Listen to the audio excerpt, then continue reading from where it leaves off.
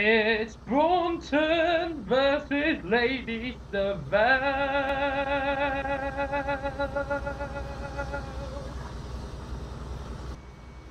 Hello, my name is uh, Lady Stovell, and I'm here to talk about myself today because that bastard Braunton keeps interrupting my my speeches.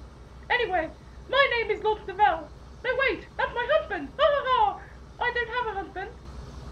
What? I I killed him. You, you killed your own husband? Yes, because I want to be with you, Braunton, because you're such a big manly bastard.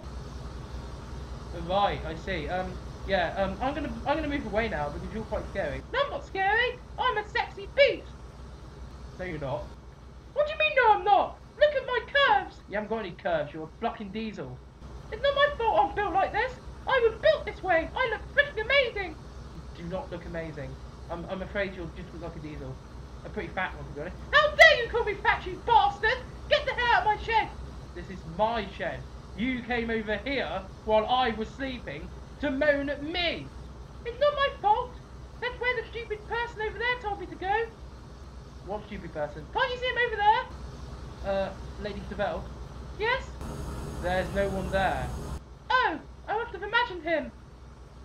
Right, yeah, I'm gonna go get another coffee because I'm, I'm quite thirsty. The last time, you don't drink coffee, you stupid idiot!